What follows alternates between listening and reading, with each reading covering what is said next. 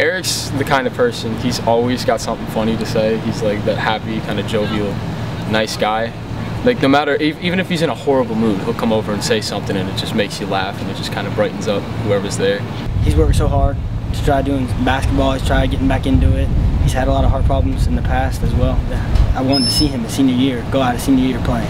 I think as much as the competition is the football game, I think more of it is going to be who can raise the most money because it's such a, such a great like thing to do for him. And I think his family will really notice it and be so appreciative. We've decided to come together and have a competition and see who could raise the most funds for the Eric Szczepanik Heart Transplant Fund.